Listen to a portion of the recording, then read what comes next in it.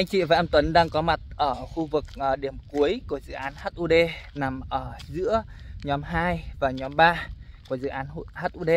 Anh chị và có thể thấy là khu vực khung cảnh thi công rất là khẩn trương của con đường kết nối trực tiếp ra cả Phước An, con đường Lê Hồng Phong nối dài. Đấy. Con đường Lê Hồng Phong nối dài. Đây là sau này. Đây là tiến độ thi công chuẩn bị uh, chỉ một vài tháng nữa thôi thì chúng ta sẽ kết nối trực tiếp ra con đường Hùng Vương cách chúng ta khoảng 300 mét thôi. Đấy. những cái uh, nu những cái uh, cống thoát nước rất là lớn chiều dài là 3 x 3 mét. Cống thoát nước của tuyến đường Lê Phong này. Đây là bảng thông tin thi công của tuyến đường Lê Hồng Phong. Đây tuyến đường Lê Hồng Phong.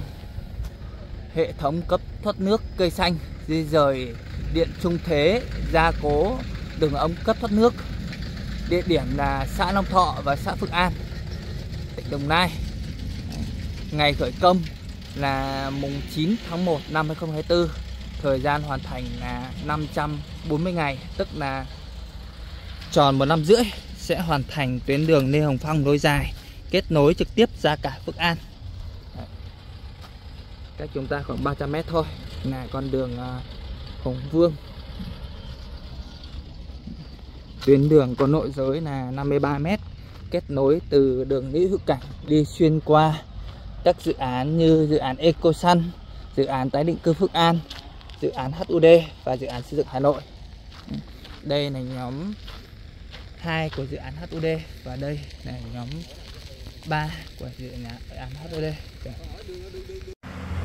Đoạn cuối đường Lê Hồng Phong nút giao giữa đường Trường Trinh và đường Lê Hồng Phong trục đường 53m kết nối trực tiếp từ dự án HUD xây dựng Hà Nội kết nối với lại đường Trường Trinh có nội giới từ 80 đến 100m đang được thi công và dự kiến hoàn thành là một năm rưỡi.